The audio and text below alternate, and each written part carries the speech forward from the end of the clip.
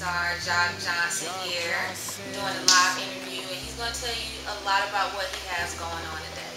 So I'm going to start with, um, a lot of people say like you came out of nowhere, you know, Jacques Johnson's come out of nowhere. So I want you to tell us a little bit about your rise in the hip hop.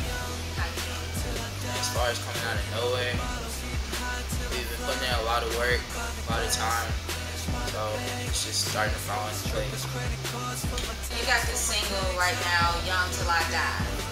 Now that song right there, it sounds like it's gonna be causing a little controversy. You talking about getting high and strippers. Tell me a little bit about what what is that song?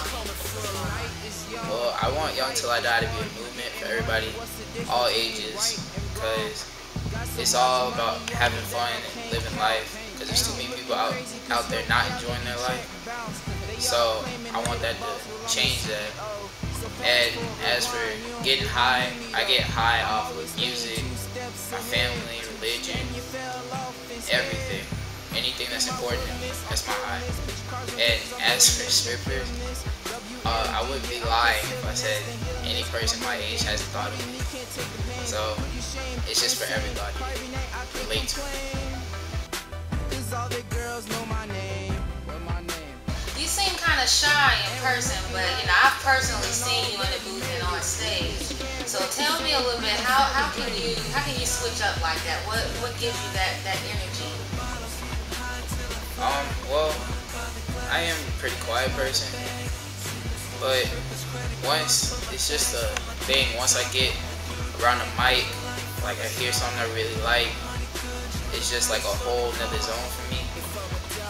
Like once I'm around a microphone or on stage, it's like a mission. Like I have to complete that mission. I have to do it perfect. If I don't, then it's a problem. I'm keep working and finally get to that point. It could be, you know, the dimples. I don't know what it is, but you got all these girls reaching out to you on YouTube and Twitter.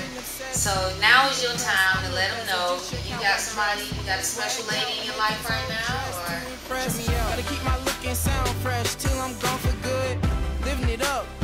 I'm focusing on music and school right now, but I do check all my emails and uh, comments on my website as much as I can and try to respond. oh, it's not true that you have a long distance relationship with Kim Kardashian's sister. When you hear my name, don't be surprised. No.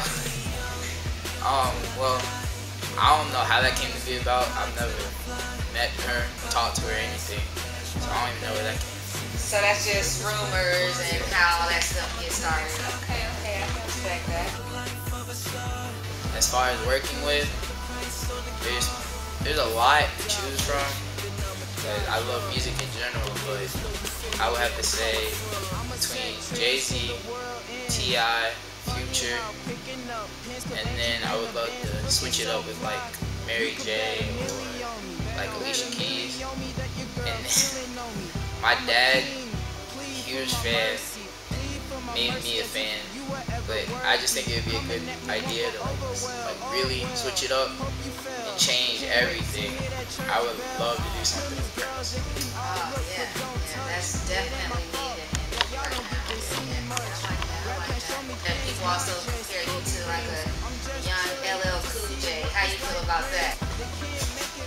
it's it's an honor because he's such a successful businessman, an actor, and an artist. All his music will live on forever. So I don't see how I can be compared to him, but I'll take it either way.